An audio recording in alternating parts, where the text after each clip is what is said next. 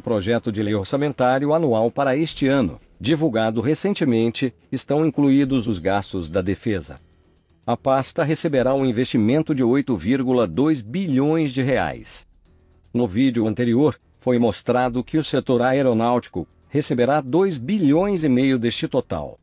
No relatório de mais de 3 mil páginas, está incluída uma verba para a aquisição de sistemas de artilharia antiaérea, para qual se encontra destinado pouco mais de 22,5 milhões de reais. Portanto, não dá para ter uma real noção se essa aquisição será de um sistema de grande porte ou de pequeno porte.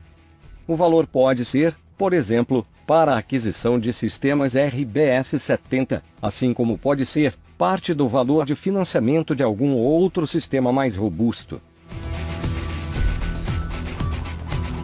Também é possível identificar uma verba de 628 milhões de reais para dar continuidade à construção dos submarinos convencionais e outros 646 milhões destinados ao desenvolvimento do submarino de propulsão nuclear. Outros 11,9 milhões estão destinados ao desenvolvimento do míssil antinavio Mansup. O projeto do Astros 2020 receberá 133 milhões de reais. É importante lembrar que a entrega dos mísseis de cruzeiro MTC-300 para o Exército Brasileiro deverá ser neste ano.